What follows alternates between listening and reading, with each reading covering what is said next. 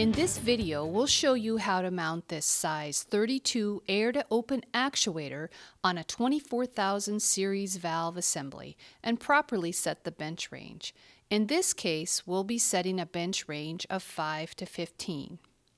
Before performing any work, always be sure to read and follow all safety precautions as they are outlined in the instruction manual. To get started, we'll make sure that the stem nuts are installed and counter tightened on the valve stem as shown at the bottom of the stem. Carefully lower the actuator onto the valve assembly and install the yoke drive nut with the rounded side facing down. Then install the travel indicator disc. Apply a small amount of anti-seize to the valve stem threads.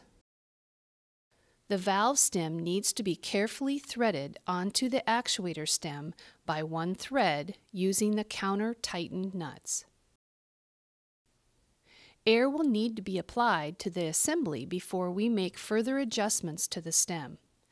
Install a pressure connection into the lower diaphragm casing of the actuator and apply 15 psi. As pressure is increased, the actuator will move and make contact with the bonnet.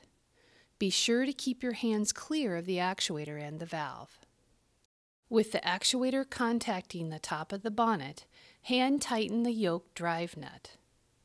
Make sure the actuator is positioned correctly with the travel scale on the left.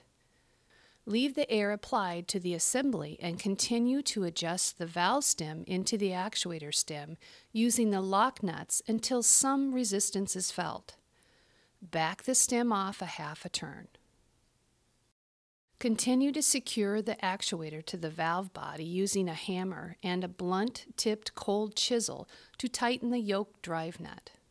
With the actuator mounted, we'll now perform the bench range to set the proper spring compression and travel for the assembly. Locate the assembly nameplate and verify the listed bench range for the assembly.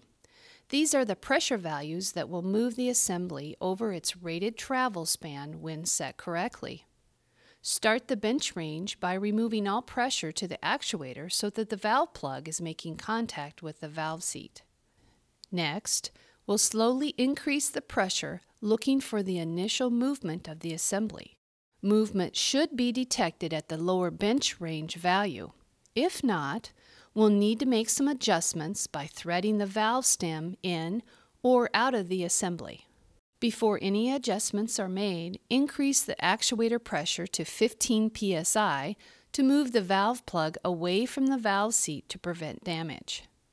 If the movement was observed at a pressure below the lower bench range value, the valve stem connection will need to be lengthened by turning the valve stem out of the actuator stem. If the movement was observed at a pressure above the lower bench range, the valve stem connection will need to be shortened by turning the valve stem into the actuator stem. After making the needed adjustments, remove pressure and monitor the travel again. Continue to make adjustments and test for initial movement at the lower bench range value until the appropriate settings are achieved. This may need to be repeated several times. At this point, apply 15 psi and adjust the stem nuts to secure the indicator disc below the actuator stem.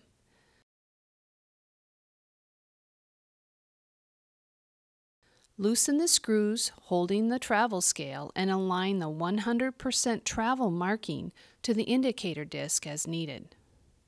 The last thing we'll need to verify is that the correct travel is achieved. Slowly decrease the pressure to the actuator to 0 psi. The valve plug should make contact with the valve seat, and the travel indicator disc should now line up with the 0% rated travel mark on the scale. Bench range and travel are now properly set for this assembly. For more information, visit emerson.com backslash Fisher or contact your local Emerson sales representative. Thanks for watching.